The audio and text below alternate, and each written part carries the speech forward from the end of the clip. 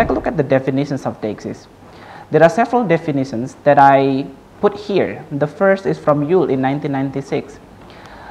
Deixis is a technical term taken from Greek for one of the most basic things we do with utterances. It means pointing via language.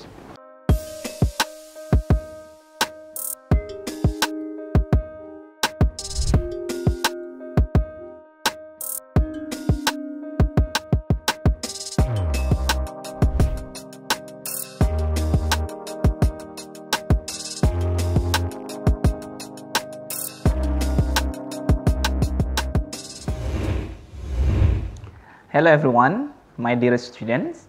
Welcome to English Semantics and Pragmatic course. My name is Budi Eko Pranoto and in these sessions we'll be discussing about deixis and definiteness. Every language has deictic terms or deixis. Levinson in 1992 asserts that deixis as a branch of pragmatic places its concerns to the relationship between language and context. It is certain that by understanding the concept of deixis, language user can accurately process the meaning of utterances. Through the comprehensions of big concept of pragmatic, a subfield of linguistics, which studies the way in which context contributes to the meaning, people can understand what the message actually means behind utterances. So in these lectures, it is hoped that students are able to identify and illustrate types of deixis and definiteness in English, and also the accuracy to explain the concept and aspect indexes and definiteness also become the parameter of the success in this lecture. So during the lectures, I will elaborate the concept and also the role of deixis in conversations and how it affects the meaning interpretations. So the first one will be talking about the definitions of deixis and then the second one will be talking about the types of deixis and then we will relate them with the context and also definiteness. Take a look at these examples. It'll take more than a pair of Levi's to make you into James Dean. And the second one, I'm starting to talk like Michael Jackson's. So maybe you know about James Dean, maybe you're not, or maybe you know about Michael Jackson's, maybe you're not. So James Dean is a popular artist at that time, and he is very handsome and also has a very um, close identity with one of the denim brand, Levi's. And also Michael Jackson is a very popular pop singer. I believe everyone knows about him. So the first example, it will take more than a pair of Levi's to make you into James Dean. We, you have the knowledge of James Dean. And also the second one, you have the knowledge of Michael Jackson. So the knowledge that you have about James Dean and also Michael Jackson is called non-linguistics knowledge. It does not come from part of one's knowledge of English in the same way as knowing the meaning of pair and also talk. So in this case, we're talking about someone who is pointing something using the language, and this is part of the concern of deixis. So take a look at the definitions of deixis. There are several definitions that I put here. The first is from Yule in 1996. Deixis is a technical term taken from Greek for one of the most basic things we do with utterances. It means pointing via language. It is clearly a form of referring that is tied to the speaker's context with the most basic distinctions between deictic expressions, being near to the speaker, like close to me, or proximal, versus away from speaker or distal on your positions. So when I'm talking right now, so here I have the nearest positions from me as the speaker, and also when I point something that is close to you or away from the speaker. Meanwhile, according to Renkema in 1993, says that deixis deals with the connections between the discourse and the situations in which a discourse is used. The word deixis means to show or to indicate. So people use language to show something or to indicate something. And in terms of deixis, we are talking about the positions, whether it is close to the speaker or far from the speaker. So in pragmatic, deixis describes words or expressions in which the reference relies absolutely on context. So you have to understand the context in order to understand what it means by the speaker, what is meant by this by the speaker, what is meant by that by the speaker. So Moreover, uh, we have words that have sometimes more than one meaning in terms of its reference. You may have different meaning of the same word when it is referred to different contexts. Therefore, during the conversations or during the um, interactions between speaker and also the hearer, both speaker and hearer should have the same understanding to the context. So, if we are talking about the importance of Deixis, you need to see how Deixis play an important role during the communications. That according to Lyon, in 2015, Deixis is an important part of human discourse. Deixis is an important field which is studied in pragmatic, semantic, and also linguistics because Deixis refers to phenomena where understanding the meaning of certain words and phrase in speech require contextual informations. Words or phrases that require contextual informations to make sense are deictic. So, for uh, moreover, Deixis is also important field of language study for learners of second language because it has some relevance to analysis of utterances both in spoken and written text. Yule states that some words in language cannot be interpreted at all unless in the context like here, there, this, that, now and then, or maybe time marker like yesterday, and pronouns such as I, you, him, her, them are clearly interpreted. Yule also add that deictic expressions depend on the immediate physical context in which they utter. To interpret those ex expressions, the speakers need to share the same context with listeners. So, if we can conclude, essentially Deixis concern the ways in which language encodes grammaticalized features of the context of an utterance or a speech event, and thus also concerns ways in which the, the interpretations of an utterance depends on the analysis of that context of utterance. So now we move on to the second part of the discussions. We'll be talking about types of deixis.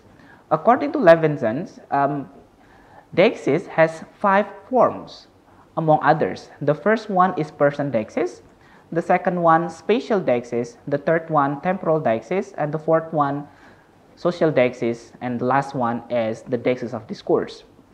Let's discuss one by one. The first one is person deixis.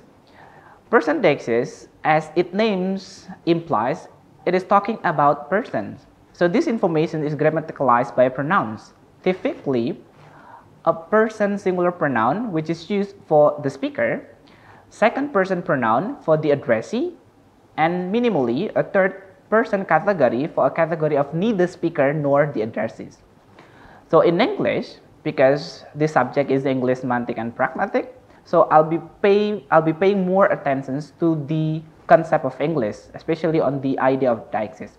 So in English, we have singular like I, he, she, and also it. For plural, we have we, they. And then for singular or plural, sometimes we can use you as singular and also plural in, in different contexts. But when we're talking about this one, languages are differ in um, in the amount of other contextual informations that is included in pronoun. For example, in Arabic, they have more than this one when they are referring to um, personal pronoun in its language. So the examples of person deixis in English, we have like um, John Smith says, I am hungry. So the word I, it refers to John Smith. It refers to him as the speaker of that sentence, it refers to his conditions because it would be different when someone say that John Smith is hungry because John here referred to he. It becomes the third person singular. Meanwhile, when someone say I am hungry, it refers to him as the speaker who are feeling the state of hunger. So you need to understand um, that each personal pronoun refers to each concept that they encoded with. So you can apply the knowledge of this one when you are having an examinations or when you have your TOEFL test in reading comprehensions. You have to understand which pronoun refers to which ideas in that reading passage. So your knowledge of deixis will be useful not only in the idea of semantic also pragmatic, but also can be useful in the another aspect of language examinations. So next one, or the second one, we have spatial deixis. So these deictic devices in a language commit a speaker to set up a frame of reference around herself. The idea of spatial, we are talking about space or locations. So take this simple example as adverbs of locations. So yeah, it refers to the locations of the speaker. So usually it is referred with the words here and also there. So when people say it's too hot here in the sun, so let's take our drinks into the shade of a there. So here and there, it refers to the position of the speaker here and they are moving to another positions there. So it would be different if the speaker um, changed the positions from here to there, but they changed the sentence. So if the speaker move, the interpretations of the adverb will be changed or will change. They call the shade here and their original place there. So the first sentence, it's too hot here in the sun. Let's take our drinks into the shade of there. They are moving from here to there. But as they arrive to that position or that locations, the locations, at first it is here, it changes into there. I'm glad that we moved here. I was melting over there. So spatial deixis here refers to the locations where the speaker located. So if we compare, yeah, if we compare later, I will give you an example of a Mexican language. So in English has two terms of positions between these, these, yeah, items closer to the speaker and that those items further away or far from the speaker. But on the idea of the location here, we have the concept of plasticity. So it talks about how big an area is meant by here depends on the context. It may refer to a country, a city, a room, or a part of room, and etc. So the use of here doesn't always have to include the locations of the speaker because you can point a location on the map and you say, I live here, and it is not necessarily that you are there at the moment. But you can point a location without necessarily to be without necessarily that you have to be in that locations at the moment. So if in English we have two terms, meanwhile in Spanish, yeah, we have three terms.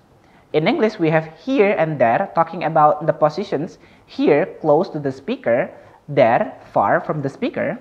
Meanwhile in Spanish they have three. Aquí means here, ahi means just or there, and then allí over there. So pardon my pronunciations. If you have um, better pronunciations with this Spanish vocabularies, you may uh, do so. So like esto, close to the speaker, eso, close to the addressee, and then aquilo, close from both, sorry, distant from both.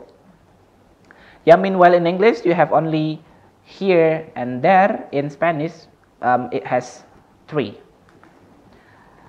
And then move on, uh, on the idea of spatial deixis, because we are talking about locations, we also can relate it with the idea of motions or movement. So deictic elements may also include informations about motions toward and away from the speaker. For example, we have don't come into my bedroom. So it will be in contrary with don't go into my bedroom. So when when a person say don't come into my bedroom, it, it is assumed that the speaker positions is in that room or in that bedroom. Meanwhile, when, he's, when he says, don't go into my bedroom, it is assumed that the position of the speaker is outside of that bedroom. So another example, he is going to leave the country. So the idea of spatial movement away from the speaker is mapped into times as a future event. Like he is going to leave the country. So there is a movement there from one place into another place or from one locations into another location and about the size of the, the area is is defined contextually. It may refer to a country, it may refer to a city, room, or part of a room. Let's move on. The next one, we have temporal or time deixis. as its name suggests, time deixis is a reference to time relative to a temporal reference point. Typically, this point is the moment of utterance. Temporal indexicals are expressed in time adverbial like now, and then then, soon, lately, recently, ago, day, tomorrow, or yesterday. So if you know the time reference here, you, you understand that in English language we have tenses. So you understand how to use now, how to use then, how to use soon, and also how to use ago because we are talking about specific time in in your in your sentence. Because when you are using now it talks about the current conditions. Meanwhile when you're talking about ago it talks about the past event. So another example we have now and then. Yeah talking about now and then. Or yesterday today tomorrow. So you can relate it with the distinctions in tense because when you use sentence in english you have to use different types of verb in order to be in order to have an agreement with the time marker. So the next one is about the social deixis. So it explains about the social identities or relationship of the participant in the conversations. Terima kasih sudah menyaksikan video pembelajaran ini. Jangan lupa like, komen dan subscribe, serta nyalakan tanda loncengnya agar kalian tidak ketinggalan informasi update lainnya.